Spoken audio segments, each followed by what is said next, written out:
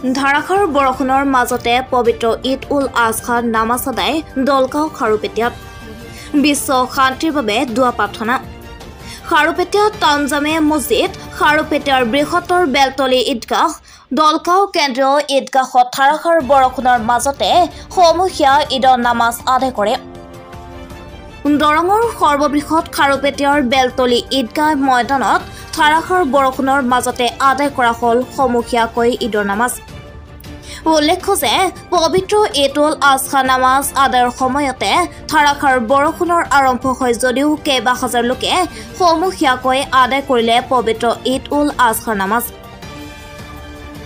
তলত পানী ওপৰত বৰষুণৰ মাজতে অসমৰ বিখ্যাত ৱাজিন শ্বেখ আলহাজ তালেব উদ্দিনৰ ইমামী দৰং জিলাৰ বিভিন্ন প্ৰান্তৰ পৰা নামাজীসকলে বেলতলী ঈদগাহ ময়দানত একত্ৰিত হৈ সমূহীয়াকৈ পবিত্ৰ ঈদ উল আজহাৰ নামাজ আদায় কৰে।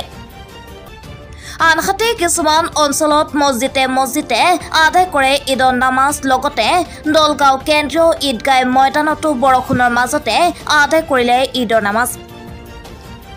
ত্যাগৰ উৎসৱ পবিত্ৰ ঈদ উল আজহাৰ নামাজ আদায় কৰি সকলোৱে বিশ্ব শান্তি তথা বিভিন্ন জাতি জনগোষ্ঠীৰ মাজত মিলা প্ৰীতি ভাতৃত্ববোধ অধিক শক্তিশালী হোৱাৰ কামনাৰে আল্লাহৰ ওচৰত দোৱা প্ৰাৰ্থনা জনায়। নিউজ ডেস্ক ৰিপৰ্ট প্ৰতিদিন সংবাদ। হয় আজি আমি ঈদ উল জহা নামাজ খাৰুপেটীয়া টাউন জামা মছজিদ ঈদগাহ ময়দানত আমাৰ হোৱাৰ কথা আছিল কিন্তু প্ৰবল বৰষুণৰ কাৰণে আমি মছজিদৰ ভিতৰতে ইনশাল্লাহ আদায় কৰিছোঁ। আৰু প্ৰথম জামাতত বহুত মানুহ হৈছিল। একে সময়ৰ সমান মানুহ দ্বিতীয় জামাতত হৈছে। আমি প্ৰথম জামাত এটা কৰিছোঁ। দ্বিতীয় জামাতো কৰিব লগা হৈছে। প্ৰবল বৰষুণৰ কাৰণে। আৰু খাৰুপেটীয়া অঞ্চলত বহুত ঠাইত ঈদৰ নামাজ আদায় কৰিব এতিয়ালৈকে পৰা নাই। বহুত অসুবিধা হৈছে। তো আমি ইনশাল্লাহ আমাৰ খাৰুপেটীয়া টাউন ঈদগাহ ময়দান জামা মছজিদত আমি ঈদৰ নামাজ আদায় কৰিছোঁ। ইয়াৰ জৰিয়তে মই সকলো অসমবাসীলৈ ঈদ উল আজহাৰ শুভেচ্ছা জনাইছোঁ।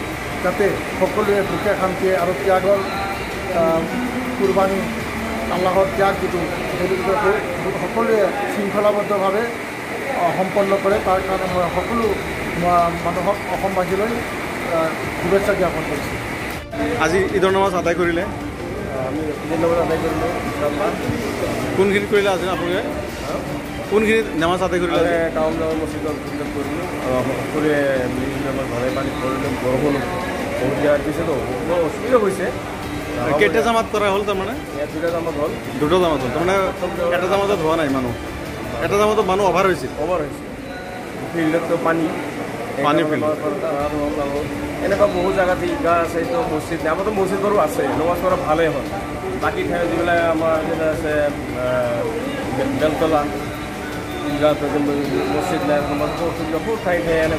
এঘাৰটো পানী হৈছে বহুত জেগাত। নামাজ বহুত জেগাত আদায় কৰিব পৰা নাই। সকলোৱে থাকিবলৈ